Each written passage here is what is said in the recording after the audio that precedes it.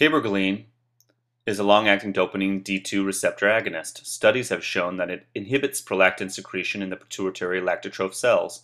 Prolactin is a protein hormone which is most commonly known for enabling female mammals to produce milk. However, there are many other functions for prolactin in both males and females. When taking cabergoline, Prolactin doesn't get secreted from the pituitary gland, which in turn causes prolactin levels to reduce. In males, the most commonly known effect of prolactin is during and after ejaculation. This is called the sexual refractory period. During this time, the male will lose interest in sex and feel satisfied.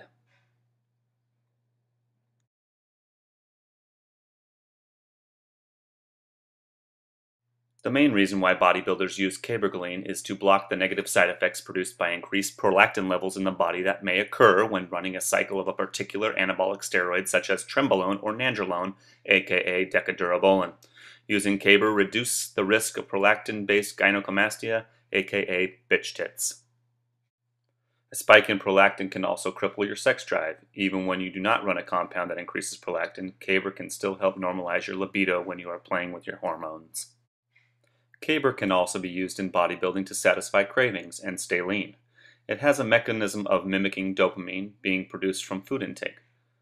When you take cabergoline, the dopamine being released can act as a pleasure chemical, which can make a bite of that pizza satisfy you rather than eating the whole pie. Many bodybuilders who take cabergoline report improved sleep thanks to the dopamine mimic. This allows you to sleep more, deeper, and longer. Deeper sleep means better recovery time for the muscles. When we are on a cycle or when coming off a steroid cycle, our sex drive can be altered. Sometimes in good ways, but many times in bad ways, especially when trenbolone is involved.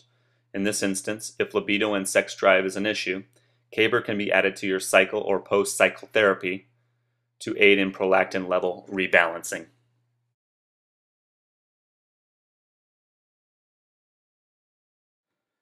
Cabergoline has a half-life of three days. Caber can be taken twice a week, and the recommended dosage is a quarter milligram per dose, which is fairly moderate. Caber is a very potent drug and should be run very conservatively. Make sure you know what you're doing with it.